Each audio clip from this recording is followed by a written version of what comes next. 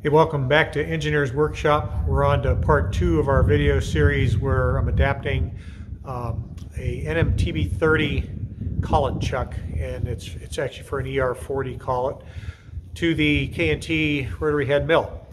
Um, in the first video, in case you didn't get a chance to check that out, you got to see me crash the mill or wreck a three-quarter inch carbide cutter, put the mill out of commission for two weeks, and recover from that, and then uh, just get some roughing done on the on the nuts. So in this one, we continue to finish out the uh, front and rear face, or let's say top and bottom face of the collet nuts. Uh, got some mill turning in there, some rotary head action in this video. And uh, at the end, the nuts are almost ready to put the bolt hole pattern in. And with those, you'll get to see uh, more rotary head action and even some work on the rotary table. So let's get over and check it out. I had a lot better luck using the Hanita uh, 5 flute roughing mill. This thing's like about four inches long, and so I was able to clamp the collet nuts in the vise and just basically mill over half of the overall width of these things taking some pretty deep cuts too. I think I went as deep as a quarter inch on some of these. Very slow feed, but it just chewed right through it. It's already been pointed out to me that, you know, you could have just clamped these nuts down flat and used the rotary head to, um, you know, end mill these things round and round. But I wanted to develop a little bit of uh, expertise using the roughing mills. I've got some future projects that have to have some profiles put into them um, that are going to be in some fairly thick stock. So just needed to get familiar with with how these things work. I had a little bit of trouble with this one because I left the table feed on, and as I'm clamping it down, it's it's you know I kept thinking it was scooting, but it was the actual table that was creeping along, and I had to reposition the nut a couple times. So number of passes flipping this thing top and bottom, chewed everything down to the rough uh, thickness that I needed, and then uh, that enabled me to move on to the next operation, which was to put it back into the vise, excuse me, into the quill. So what am I doing with this crazy setup? Well, I used a piece of machined aluminum and a spacer that I had to just do a rough squaring of the six inch Kurt vise to the uh, eight inch generic vise. It kind of gives you a good comparison of the of the size differences. It's, it doesn't look like it's just two inches, but it's about 100 pounds also different. And the nice thing about it is this uh, handle, so handle actually fits better on the Kurt. It just starts to engage on, on this one. I think the, the hex is a little bit oversized here. But um, got this locked down, and let me show you how I'm going to zero up to do the shoulder on the face of these. Okay, here's my crazy setup. I've got my um, lathe tool mounted here, which can do both a shoulder and a facing cut. And I've got that 5 thousandths, that's a 5 thousandths piece of shim stock from the edge of this 123 block. This is a fixture uh, made by Joe Pye for finding the center of um, your spindle. So this goes in your spindle. This face is exactly on center with that, uh, with that axis. So I can put this in the spindle I can zero my DRO with the fixture against the side of that 123 block and then I would be cutting within 5 thousandths of that. That gives me a little bit of a safety zone there. So I can zero my DRO. I could come out over with the DRO, actually, actually over this way with the work and not cut that shoulder any smaller than what the print calls for. You know, leaving myself a 10 thousandths, 10, 20 thousandths OD buffer, check it with calipers, and sneak up on it. So let's go ahead and get this in here, and maybe you'll see a little bit better how I, how I mean to do this. At this point, I have everything just touching. So the center line of the spindle is on the edge of that 1, 2, 3 block, and I can zero my X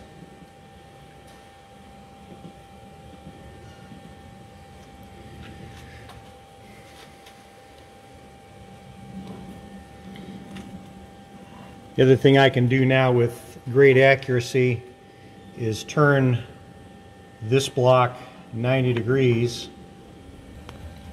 And then from this orientation, come forward with my y-axis until I'm on center.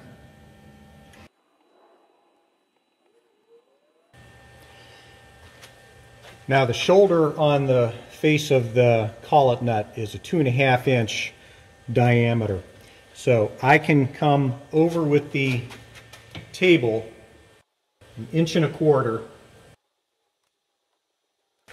inch and a quarter and if I don't go past that point I won't undercut that shoulder. Now I'm going to dial in another 20 thousandths of uh, so I'm going to go up to 270 and I'm going to go over to incremental and I'm going to zero my X.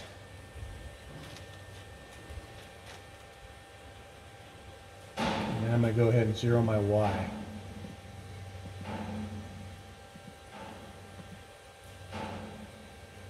So 1.270 will not undercut the shoulder. And from this point I actually have to come out further. When I cut these two faces with the threads of the nut run up against the um, spindle, they did not come out as parallel as I would have liked. They were about six thousandths out of parallel, which means as that last thread jams up against where the thread stops, it's cocking the nut. So I am going to try a trick that Doozer suggested, and that is to Loctite the nut on the spindle directly with some 242 and uh, let that set. So I have my ancient bottle of 242. Fairly generous amount on here.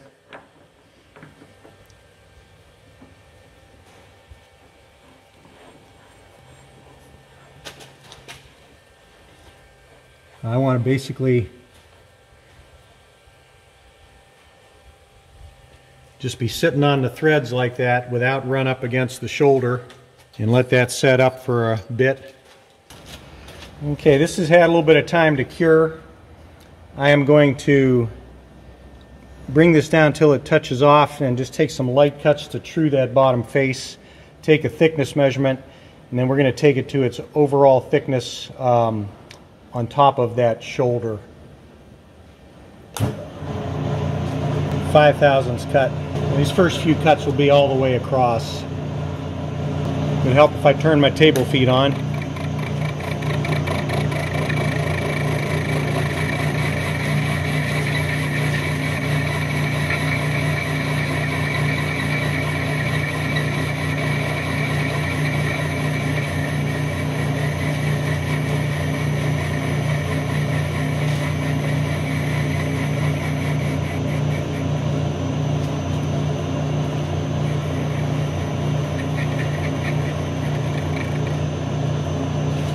Another five.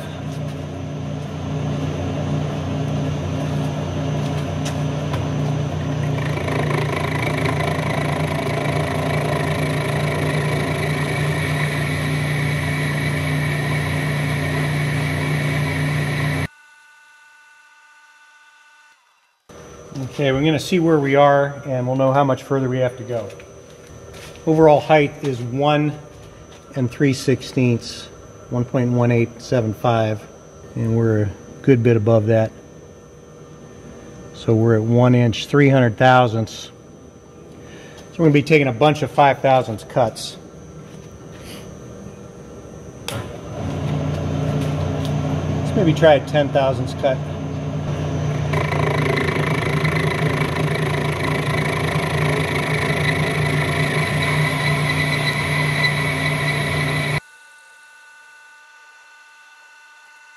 do another 10.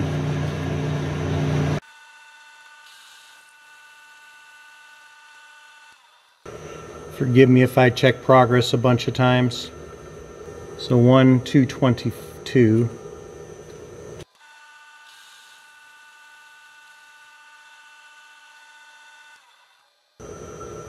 That's a nice uh, finish on that underside there. And about 214. So about 27 thousandths from finished thickness.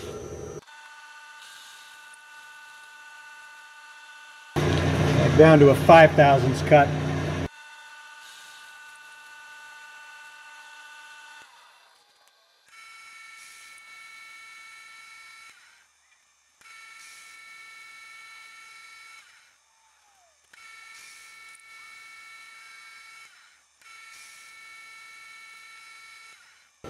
Left enough for about a 5 thousandths cleanup on the backside, 1.1950. So now I'm going to switch over to incremental mode and we're going to plunge in only until we hit zero. We have a 50 thousandths deep step. So take another 10 and be very careful and watch my DRO. Stop the table when I get close.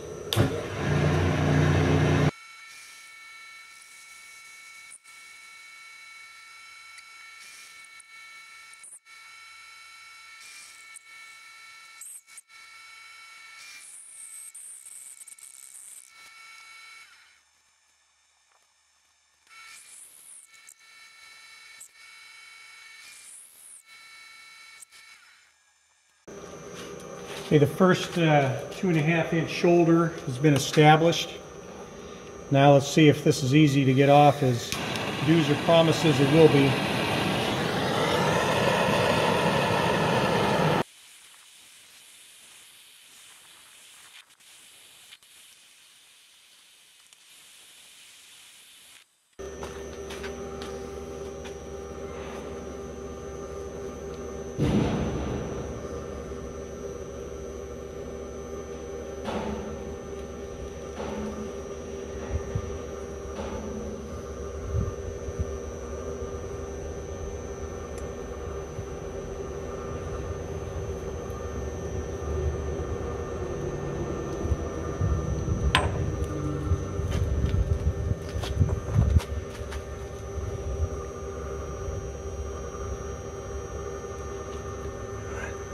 That'll do exactly what I needed to. Locate that uh, cap washer, hold the tooling in place. Just a 50 thousandths deep step. And I've got the DRO set for the correct diameter.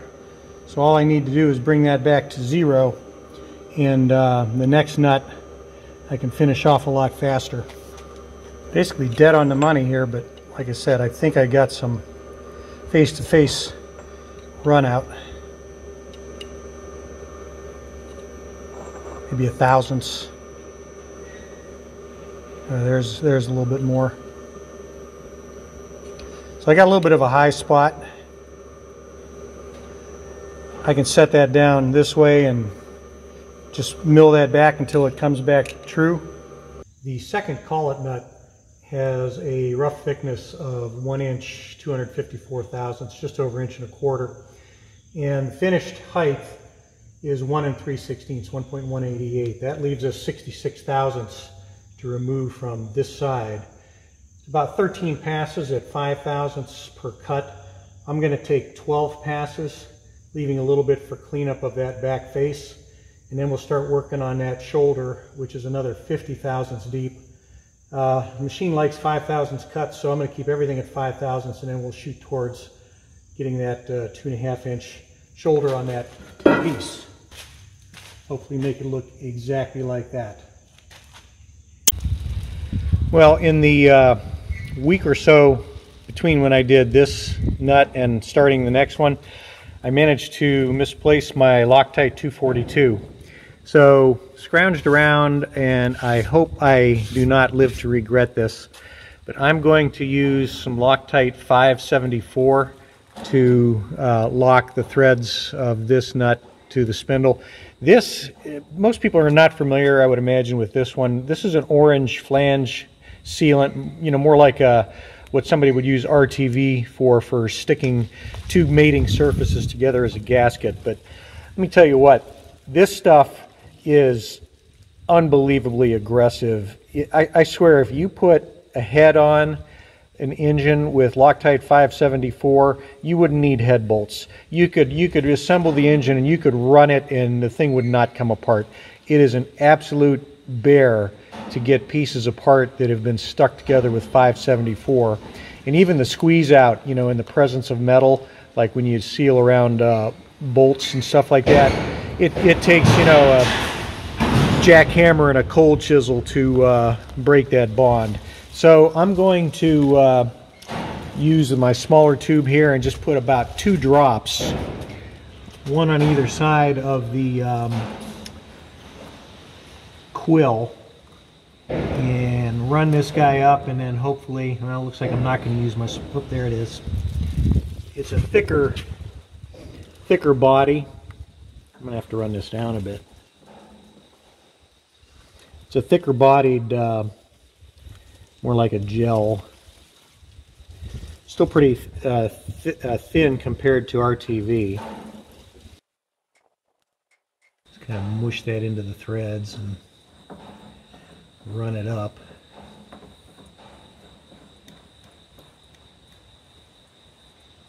Come back and check that in half an hour and see if it's stuck it in place.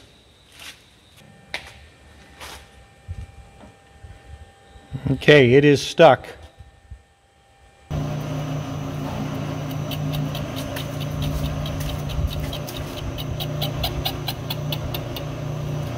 what it's worth, I'm going to try a little bit of oil on the surface here, see if that helps us any.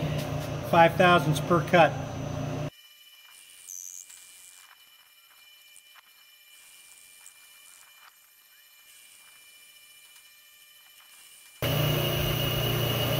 Well, it's a little quieter and it's sticking most of the chips to the tool, so housekeeping maybe helps a little bit.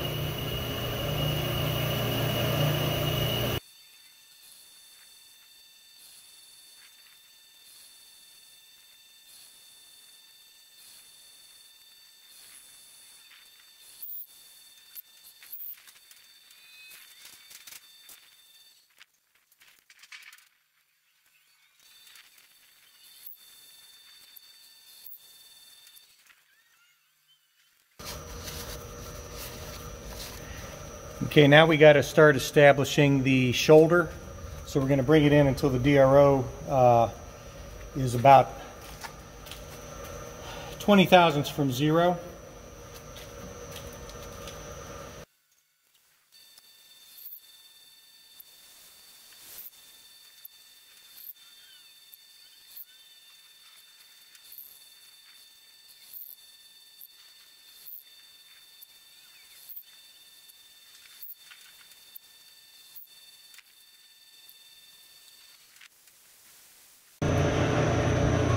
Well, I managed to break the edge off my carbide uh, tool holder. So this is just a high-speed steel bit that was uh, ground by my father-in-law. It, it really sharp, so it seems to cut well. I'm going to continue the operations with this.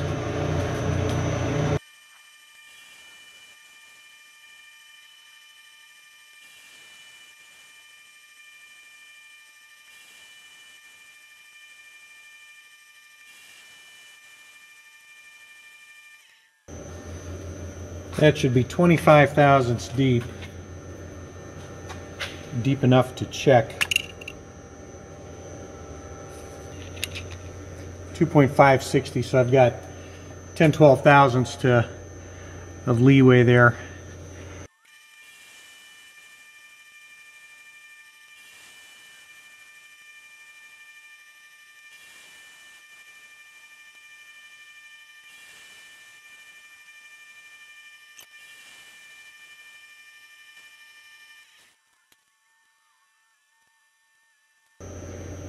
Misread that. I'm actually at 2.610.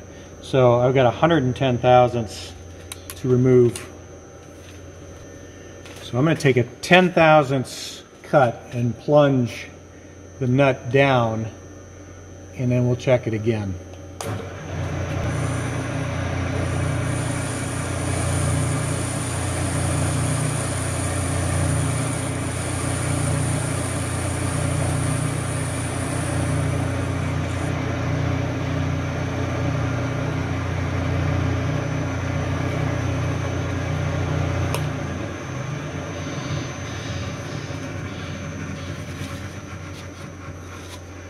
Let's see if we removed 20 thousandths from that.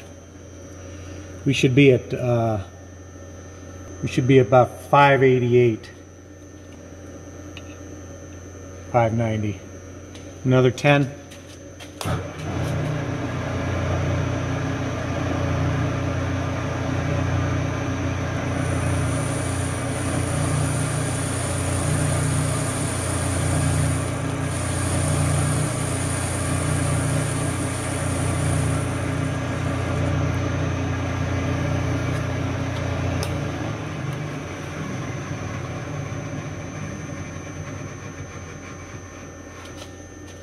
This should be 570.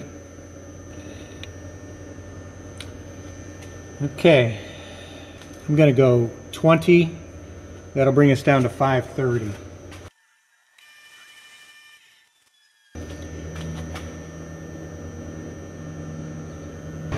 This should bring us down to 5, 2.510. 2.510, all right. Uh, I'll go 4 thousandths, and that'll leave me a 2 thousandths cleanup cut. Looks like I'm almost right on size, so I'm just going to go about a half thousandths more. I've got a 2 thousandths tolerance on the diameter, and we want to go a tiny bit under, and then I'll bring the cutter all the way out across the face, and we'll be done.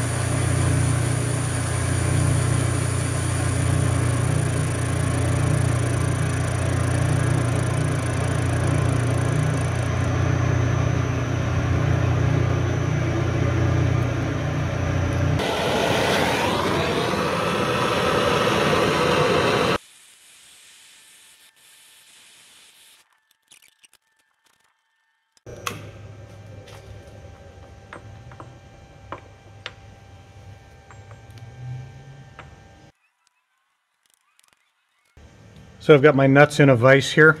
Um, in the top step, I'm just going to come across and uh, dress this top surface till it cleans up and is flush with what we trued on the spindle. Trying to indicate center, just using the points that I've turned, uh, three point, I think it was 3.875. Then about seven thousandths on the X. Dead nuts. Okay, I'm within about one TIR for that one. So zeroing on the absolute. Now what I'll do is come across and zero on the other nut and I'll set an incremental zero for that one. And we'll assume the Y is close enough just to face these off.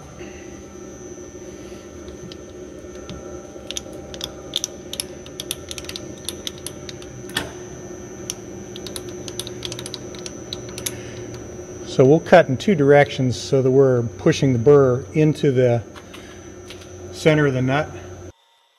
We center ourselves up well here. Two passes will do it. And we'll go until we just touch and clean up.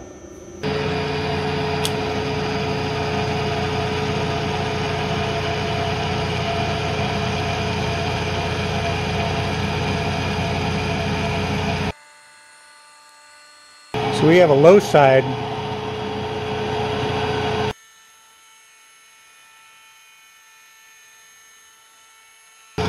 Now we'll reverse rotation of the head to push that burr into the part.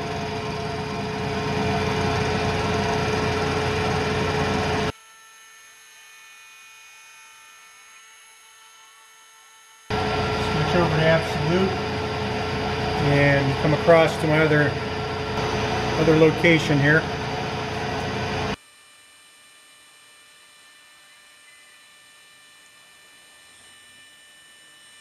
Just finding the low spot.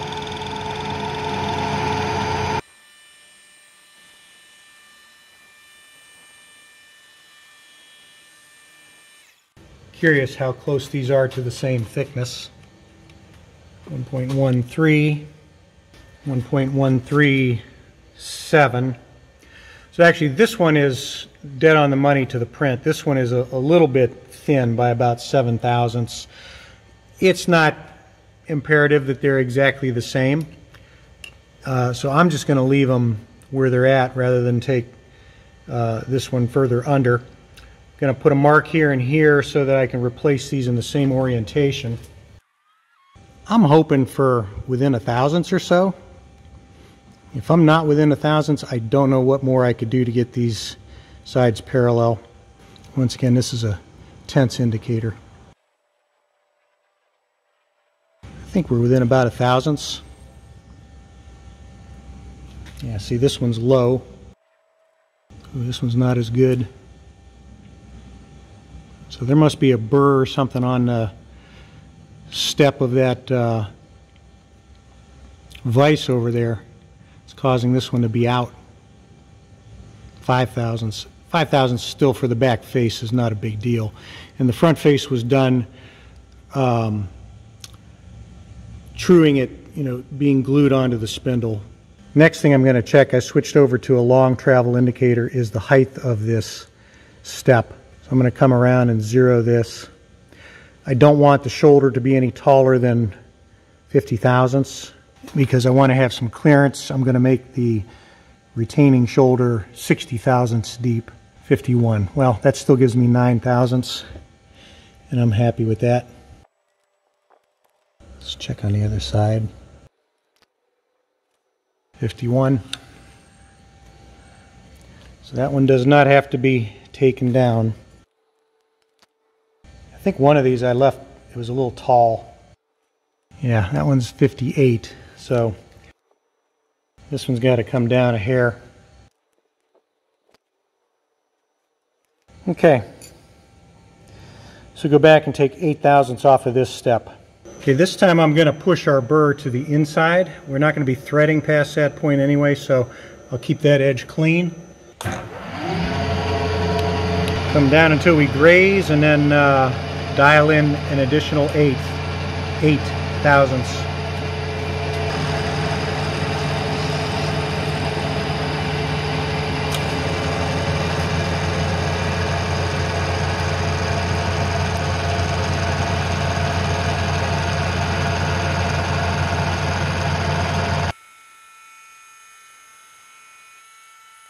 Next operation is uh, mounting bolt pattern in the face of both of these. Well, I hope you enjoyed the second part of that video, getting the adapter nuts ready for the K&T ER40 collet conversion. Um, trying to roll right into part three and get this uh, video series over. It's probably going to be about four parts or so. So stay tuned, and as always, until next time, stay safe.